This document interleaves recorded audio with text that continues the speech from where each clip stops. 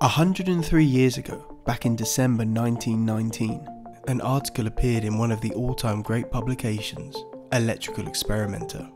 In that article, two men, H.W. Secor and H. Gernsback, proposed an absolutely audacious design for a new amusement park ride.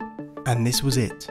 It was called the Aerial Passenger Rocket, and it was quite the contraption. With only the artist's impression to go off, I have recreated the whole ride as the designers imagined it. So, let's join the queue, strap ourselves in, and see what it would have been like.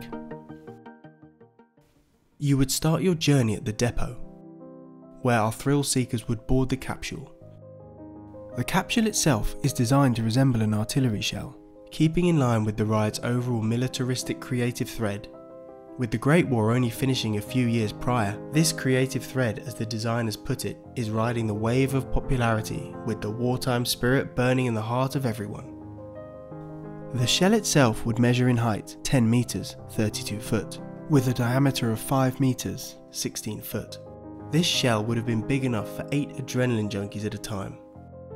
Within the shell, you would be strapped into a seat that is attached to a gimbal. I assume the seats to be brown leather as that will help speed up cleaning of the pods between rides.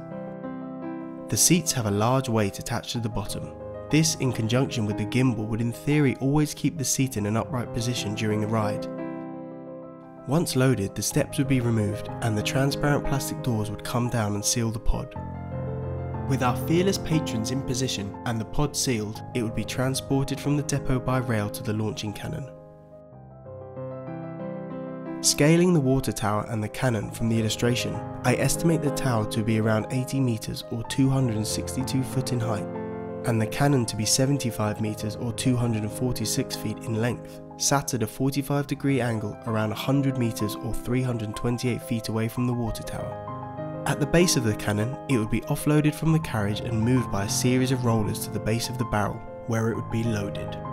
The designers offer two possible ways of launching the shell, one through compressed air and the other through electromagnetic acceleration, much like a modern roller coaster. The inventors did include within their illustration this sign, so it may have needed to be a combination of both methods to get the hefty shell up to the advertised 600 miles an hour. Once in position, the breech would be shut and everyone would prepare for launch.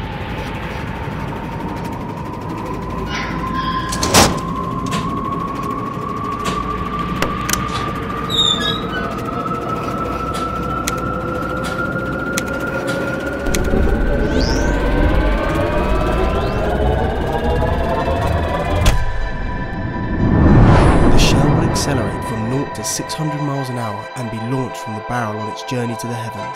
At the peak of its parabolic arc, the occupants would experience momentary weightlessness before they have a crash course in Newton's first law. Gravity regains control and begins to accelerate the shell back down to Earth. Using fluid friction, it would gradually decelerate as it slides down the flume from the water tower. Arriving at a gentle stop, the capsule would be ferried to shore by a conveyor belt. At the shore it would be loaded back onto a wagon where it would return to the depot to unload its passengers and take on a new set of madcap riders. So, what do you think?